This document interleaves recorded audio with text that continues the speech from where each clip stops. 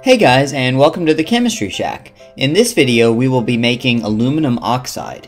But before I begin the experiment, I want to thank all my subscribers for helping me pass the 1000 subscribers milestone. When I first started this channel, I thought I would be lucky to reach 100 subscribers, but seeing that over a thousand people enjoy watching my videos is absolutely incredible. And speaking of this, I actually don't have a 1000 subscriber video planned because I want your input. I've listed a few ideas I did have in the description, so feel free to vote for one of those or suggest your own idea. Anyway, let's get on to the experiment. Aluminum oxide is a useful catalyst and I will be using it in a future video to catalyze the dehydration of ethanol. For every gram of aluminum oxide you want to make, measure out 0.529 grams of aluminum foil, 5.66 milliliters of 31.45% hydrochloric acid, and 5.66 grams of sodium carbonate. Since I want to make 10 grams of aluminum oxide, I have measured out 5.29 grams of aluminum foil, 56.6 milliliters of 31.45% hydrochloric acid, and 35 grams of sodium carbonate.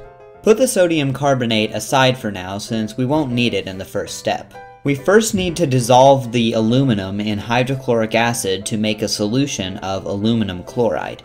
So dilute the acid by adding the same volume of water and slowly add the aluminum foil. This reaction produces a lot of hydrogen chloride fumes, so do it outside or in a fume hood. Continue adding aluminum foil to the hydrochloric acid until all of the aluminum has dissolved.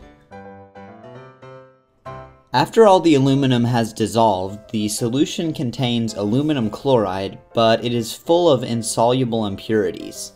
To remove the impurities, filter the solution. After filtering, you'll be left with a nice clear solution and all the impurities will remain in the filter paper. Now we're ready to convert this aluminum chloride into aluminum oxide. To do this, slowly add the sodium carbonate to the aluminum chloride solution. Carbon dioxide gas will be released and aluminum oxide will precipitate out as a gelatinous solid. We are using an excess of sodium carbonate to ensure that all of the aluminum chloride reacts. As you can see, the suspension is really thick and gelatinous, and so filtering it would take forever. Instead, add the aluminum oxide to a large volume of water and wait for the suspension to settle. This step serves to remove sodium chloride, the side product of this reaction, from the aluminum oxide. Sodium chloride is soluble in water, so it can be easily removed by washing the mixture with a lot of water. Aluminum oxide, on the other hand, will not dissolve in the water. After the mixture settles, decant off the water and leave the aluminum oxide in the beaker. Then wash the aluminum oxide two more times with water, decanting the liquid after each washing. These extra washings will ensure that as much sodium chloride as possible is removed. The aluminum oxide didn't settle out of the water very well, so after the last washing I poured off the upper layer that contained mostly water and only a small amount of aluminum oxide. I then scraped the rest of the aluminum oxide on the bottom of the beaker into a lab dish and dried this in an oven at 150 Celsius.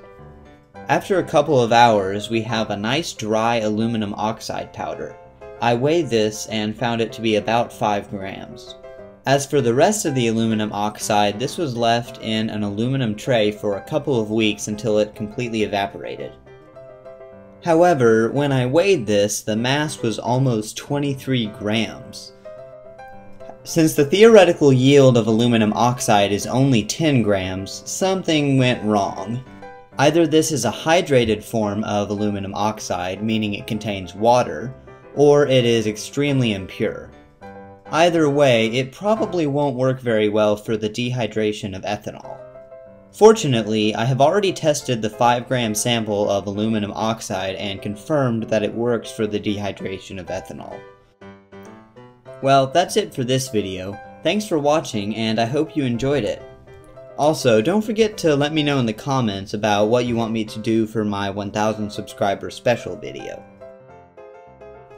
Until then, thanks for watching.